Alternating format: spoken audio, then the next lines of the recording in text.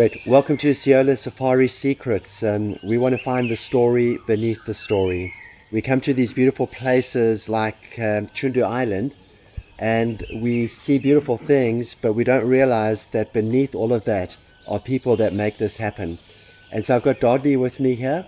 Uh, Dardley is a concession manager, and Dardley's been a tour guide, I'm using the wrong word, professional guide for the last 40 years, 39 years to be exact. Welcome to Seolo Safari Secrets. Our Seolo podcasts share the most amazing stories which occur at the back of the house. These are out of sight stories that support the remarkable Seolo guest experience. Our hope is that these stories of intrigue demonstrate the wonder and amazement of the Seolo bush experience. Dardley, what, what is a professional guide and how do you become a professional guide in Zimbabwe? Okay, um, it's quite difficult to become a professional guide in Zimbabwe. For you to become a guide, you start um, by writing exams. The first exams, which is just theory. When you pass those exams, um, they have four papers, uh, which is habits and habitats, parks and wildlife law. Then you also write the fire firearm. Okay, when you pass those exams, you become what we call a learner professional guide when you get that license, that means you are allowed to do game drives in an open vehicle and you are not allowed to get down from the vehicle and do a walking safari. For you to do a walking safari, you have to become what you call a professional guide.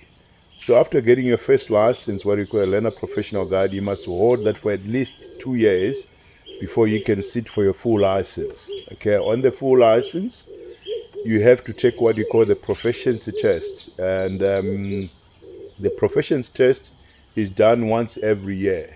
What you have to do is you have to go and set up a camp anywhere in the bush. Your examiners or Parks and Wildlife and um, Hunters and Guides Association will tell you where the venue where you're going to have your exams. Okay, they will say, for example, your exams are going to be in Mana Pools, which is like a thousand kilometers from here.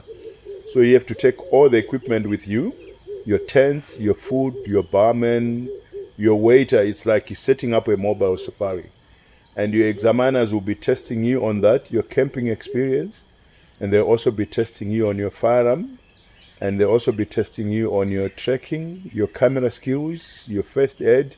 You need to know all of those things. So while you're holding your learner professional guide license, that's the time that you'll be studying those things. Okay, so that by the time you go and do those proficiency, you are ready to tackle it. It's an exam that you don't want to do twice. Okay. So if you are not ready, do not go and do it.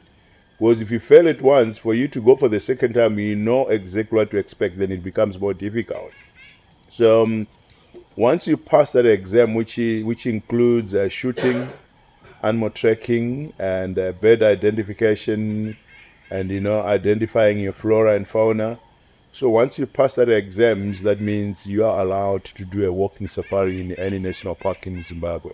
Okay. okay for you to get that full license, it will take you at least four years. It's like you're doing a degree.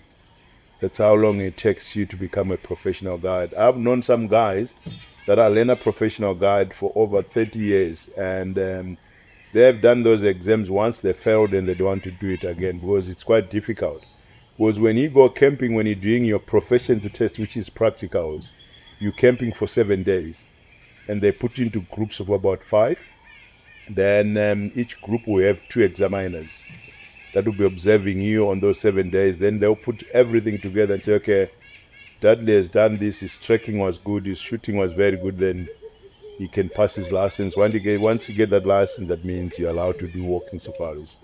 It's the most difficult license to get. We got licenses in Zambia, Zimbabwe, South Africa, Namibia, but the license that you get in Zimbabwe is the most highly considered one professional guides in Zimbabwe can get a job in Botswana, in Zambia, and Tanzania because the training that we get to qualify for that license is of more high standard compared to the license that you get in South Africa. Yeah. So in brief, that's what I would say.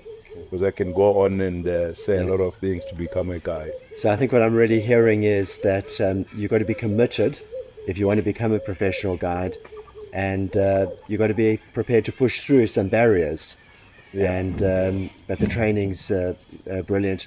Uh, Dardley, what do you most enjoy or love about being a professional guide?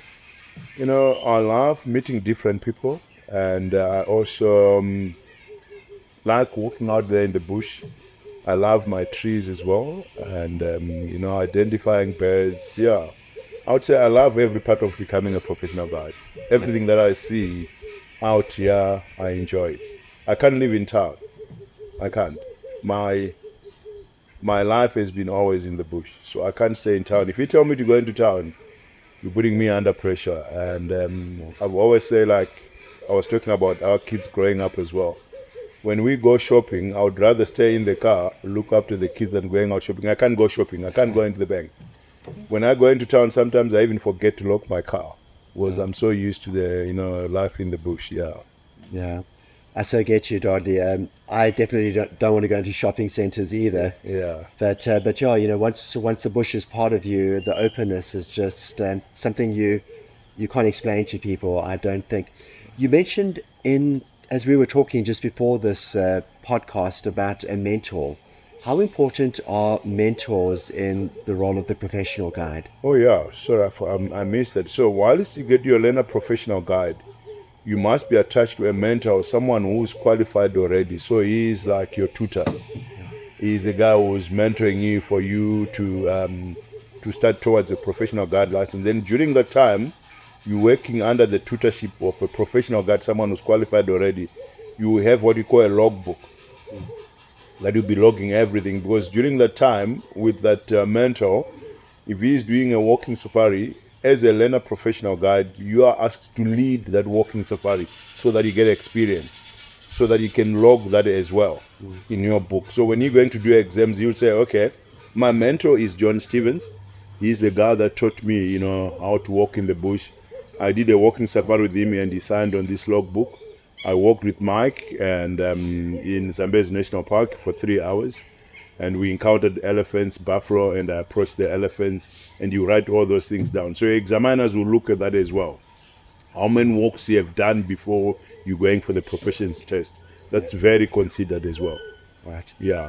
So, Dodi, as I'm chatting to you, uh, I realize that if anybody comes to Chundu Island, they're in very, very safe hands. And the training, the professionalism is here. And you know, just in conclusion, the thing that I really get about chatting to you is when we find something we love and we do what we love, we have found something of excellence, something of brilliance. And I just so get that in chatting to you. Find something you love, live into your loves, and I imagine you're going to be a happy person. Yeah, yeah. This is what I love for my life, you know. I've got a lot of friends, and my friends sometimes think I'm crazy. Like, if I go on holiday, you know, where do I go? I go out on safari. Yes. And my friends will always ask me, but you're coming from the bush, how come you're going into the bush as well? So it's something that I love. Yeah. I do it for passion. If I wanted to go and work in a hotel, I would go and work at Victoria Falls Hotel, which is a big hotel, but I love safari lodges. Yeah. Great. Dolly, thanks for sharing your love with us. And uh, I hope that most of us out there can find love in what we do, just like you have. Thank you. Thank you.